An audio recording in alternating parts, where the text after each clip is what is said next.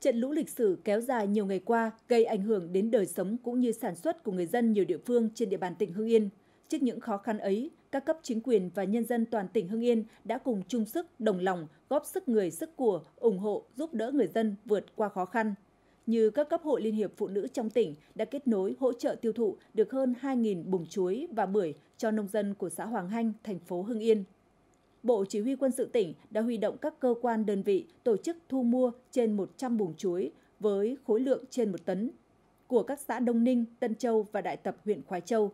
Hội chữ thập đỏ tỉnh Hưng Yên tặng 1.000 quả trứng và 400 chiếc bánh trưng cho người dân xã Hùng An và Mai Động huyện Kim Động. Công ty trách nhiệm hữu hạn xây dựng Minh Long trao 150 thùng sữa và bánh mì cho lực lượng trực gác